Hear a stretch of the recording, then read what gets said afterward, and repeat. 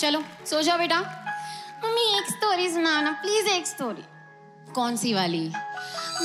परी वाली परी वाली ठीक। एक था कौआ एक बार उस कौए के घर में रात का खाना बनाया गया था।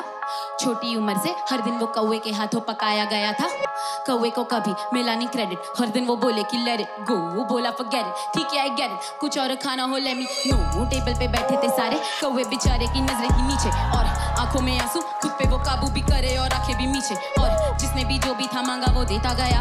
बदले में ताने ही खाए। थक सामान उसका समेटा गया। किसी ने आँसू नहीं ढाए? कौवे ने सोचा, क्या पा रहा हूँ? मैं क्यों इनको खाना खिला रहा हूँ? मैं हर दिन तो गाली ही खा रहा हूँ, बस। कौवे ने बोला, मैं जा रहा हूँ। कौवे के जो भी थे प्यारे, बैठ के देखते रहे वो सारे। मुड़ी जो कौवे की पीठ तो गाली देने लगे पत्थर मारे।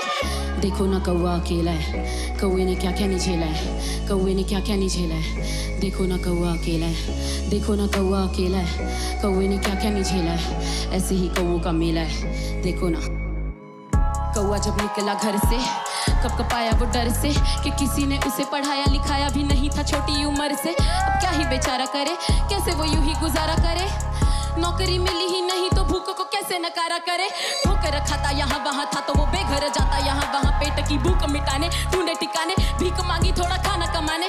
पर कहीं पे खाना नहीं मिला, खाने का एक भी दाना नहीं मिला। कहीं यूँ ही प्याला पड़ा था और प्याले में पानी भी ज़्यादा नहीं मिला।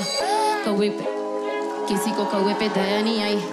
कौवे की फैमिली कभी भी ढूँढने उसे बेहया नहीं आई।